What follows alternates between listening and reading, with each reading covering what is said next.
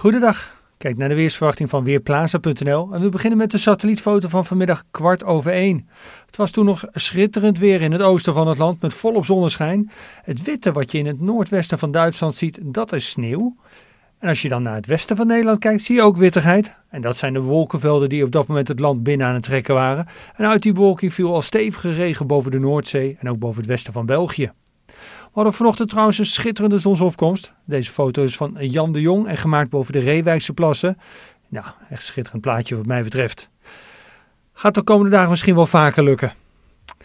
Vanavond in ieder geval niet. Geen mooie zonsondergang, de bewolking overheerst en vanuit het westen gaat het overal regenen. In het oosten kan er misschien een vlokje natte sneeuw bij zitten, maar ook daar voornamelijk regen. En in het noordoosten, daar is de temperatuur nog rond of iets onder het vriespunt. Daar kan de eerste regen voor wat gladheid zorgen. Hou de berichten daarover in de gaten.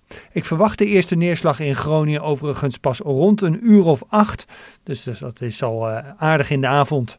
Hopelijk uh, stelt het allemaal weinig voor die problemen, want later vanavond gaat de temperatuur overal omhoog.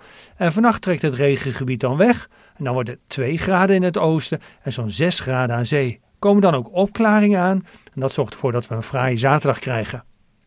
Kijk nog even naar, uh, op een andere wijze naar het regengebied. We zien hem hier al boven het oosten van Engeland liggen. En als dat in beweging gaat, dan gaat het snel over ons land. En als we dan morgen overdag kijken, dan zien we dat de luchtdruk heel hoog is, 1033, maar dat er ook wat hoge wolkenvelden zijn. Nou, deze kaarten geven aan dat er best wel wat bewolking is, maar ik heb toch goede hoop dat de zon aardig kan schijnen in het westen, midden en noorden van het land.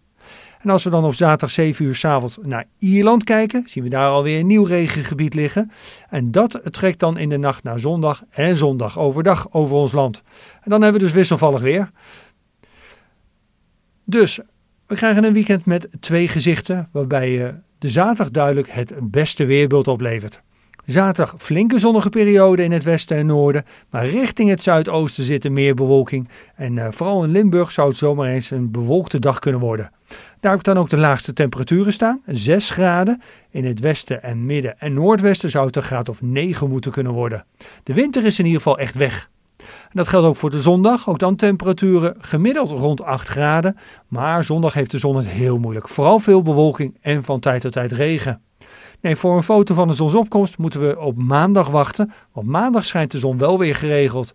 En dan middags in de t-shirt naar buiten 11 graden in Limburg.